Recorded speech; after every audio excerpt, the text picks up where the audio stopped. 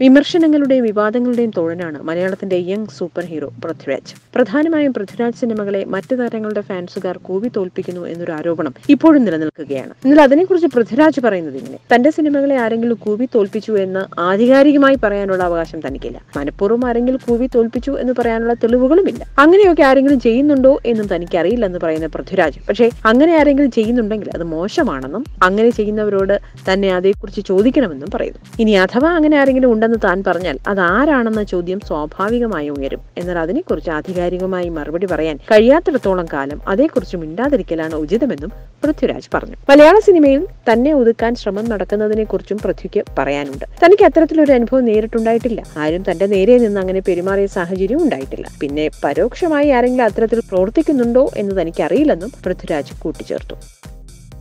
You are watching You are watching You're watching me and you're watching me on, on metromatney.com. on metromatney.com. Metromatney.com. Metromatney.com. subscribe for more videos subscribe for more videos Subscribe here for more videos. subscribe now thank you